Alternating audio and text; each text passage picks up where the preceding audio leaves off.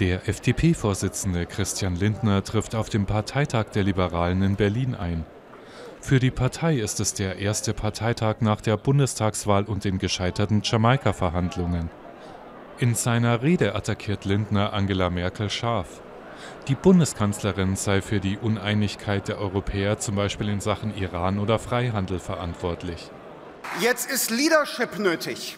Wenn Helmut Kohl und Hans-Dietrich Genscher 1989 die gleiche Zögerlichkeit gehabt hätten wie Frau Merkel heute, hätte es die deutsche Einheit niemals gegeben.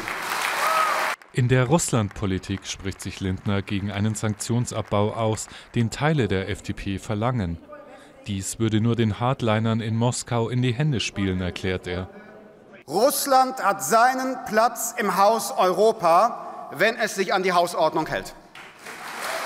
Der Parteitag der Liberalen in Berlin unter dem Motto Innovation Nation dauert noch bis morgen.